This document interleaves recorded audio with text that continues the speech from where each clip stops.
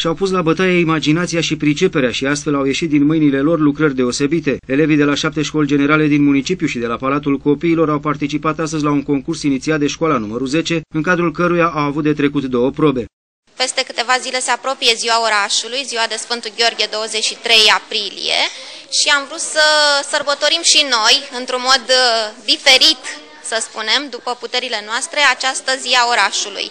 Uh, am gândit acest uh, proiect să fie organizat, alcătuit în două secțiuni, o secțiune de ce va consta într-un test de istorie locală pe care tocmai îl vedeți în desfășurare. Cealaltă secțiune este o secțiune de creație plastică ce a cuprins următoarele domenii, pictură, colaj, desen și machete.